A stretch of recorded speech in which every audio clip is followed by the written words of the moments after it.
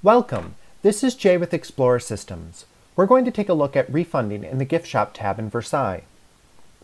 There are two types of refunds in Versai Gift Shop tab, refunds with a receipt and refunds without a receipt. You should consult your institution's policy on refunds to see if you do any refunds at all, what types of refunds you do, and under what circumstances.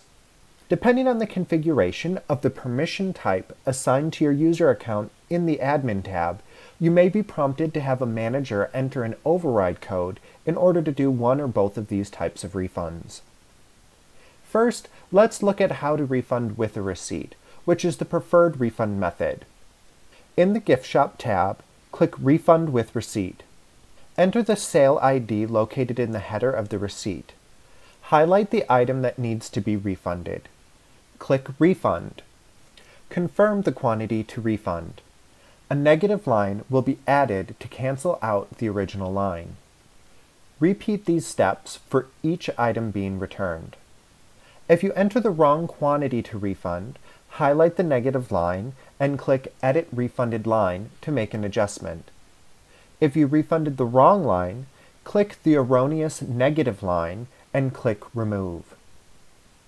Once the necessary lines are refunded, click Finish to enter the refund payment, which will show as a negative balance. Your institution will have a policy about which payment methods can be used for which refund circumstances.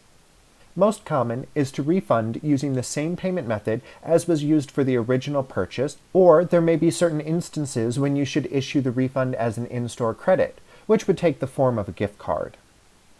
The transaction will then close. Now let's look how to refund without a receipt. Click Refund with no receipt. This functions just like a normal sale, but uses negative quantities. Scan the item barcode or click Add Item to search for the item. Repeat these steps for each item being returned, and once you have entered all of them, click Finish to enter the refund payment, which again will show as a negative balance. The transaction will then close. For a copy of this information and step-by-step -step procedure, refer to the built-in user manual. Thanks for watching. Make sure to subscribe to our YouTube channel for when we upload additional videos. And remember, we're here to help. You can reach the Explorer Systems support team on the support forum of the Versai website, as well as via email and phone.